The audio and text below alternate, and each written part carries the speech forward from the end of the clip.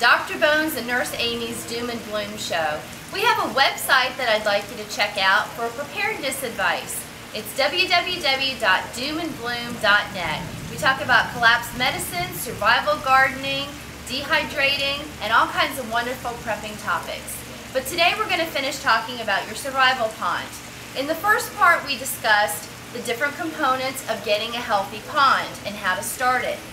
You need to make sure you have the filtration, the aeration, and the circulation.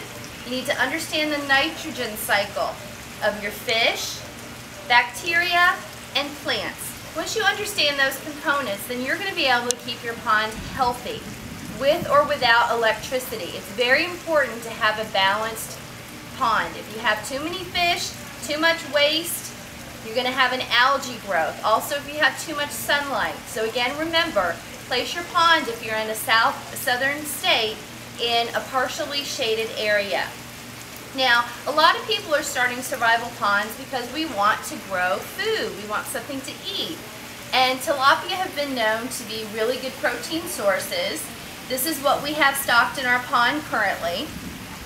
Once you've started with your goldfish and you found that your pond is really in balance and you don't have a, a mucky mess of, of algae slime and everything's looking really healthy, uh, make sure you do a water test before you add your tilapia or whatever fish that you plan on growing. Check your pH. A good pH for fish is between 6.5 and 7.4. Also, you need to make sure your ammonia parts per million is less than 1 and your nitrates are less than 5 point, uh, parts per million. So you want to do some water tests. Once you've figured out that this is in a good balance and everything's working well, then you can go ahead and add your tilapia. Um, tilapia will eat many varieties of food. They love green plants. We have some anacharis in here. They also love duckweed. So they will eat your plants. Um, they are very voracious algae eaters. So it's not so bad to have algae covering some of your pots, on the side of the pond, on the tubing for your, your pumps. It's okay because you've noticed they nibble on that and that's their snacks. You will also feed them some protein food. You want to make sure that you give them a couple uh, feedings twice a day. Only feed your pond what they'll eat in five minutes. The extra food will be broken down and it's going to add to your algae problem. So try to keep an eye on how much this fish eat in five minutes because that's what you want to keep it down to. So once you have gotten your tilapia, you make sure they have good food sources, then you can start to think about hydroponics. Now hydroponics is growing or aquaponics is actually a balance between growing food with water and growing fish. So it's a blending. And what you're going to do is use the pond water as your food source for your plant's roots. Now there are several different types of uh, aquaponics. You can use these little planters that have holes in them. Now these can be put into your pond. You'll see their sink. Water will flow through. The roots of the plants will absorb the nutrients, which are produced by the fish, and use that to grow your food.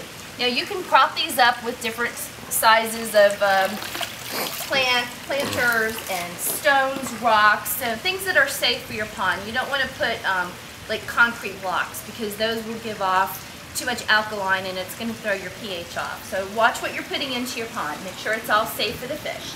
You can also do a floating planter in which you would drill holes or cut holes just a little bit smaller than the top of the cup.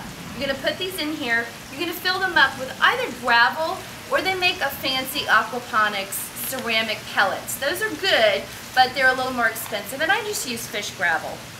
So you're going to put these in here. You're going to make sure there's some holes. Again, you want water flowing through this. And you'll notice that floats right on top. And these would probably be good for like some little greens. What I did for my aquaponics was I used a underbed storage container. I placed it on the side of the pond. I drilled quarter inch holes into the side I took one of the tubings that come off of a pump, let's just say it was this one, okay, and that was placed in one corner of the container. It moves through the gravel, across the plants, and would flow by gravity out of the holes. So what you had was a movement of water. The roots from the plants absorbed the extra fish waste, and the water came out cleaner than when it went in. And I grew corn, I grew cabbage, we grew broccoli, um, I had some strawberries in here, so we've tried a, a variety of things. And I will be setting this back up, but with this hot summer, our grow time is really not until another month. So I will be setting this up again, and I'll actually make a video and show you of it actually functioning. So that is aquaponics. Again, the fish, utilizing the water, moving it through a system, the roots absorb the waste, and the water is cleaned. If you're in a survival situation, you can get solar panels, which I recommend. They can be hooked directly up to a DC pump. So you don't need any electricity. You don't need to worry about the grid being down.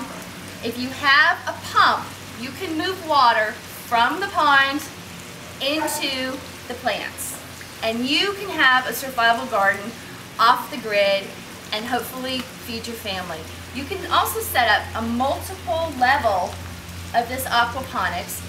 What I would do is get a shelving system and we get several of these, place them on the shelving system and just have a pipe that move the water back to the pond. So you can have many levels of this growing and grow a whole bunch of food.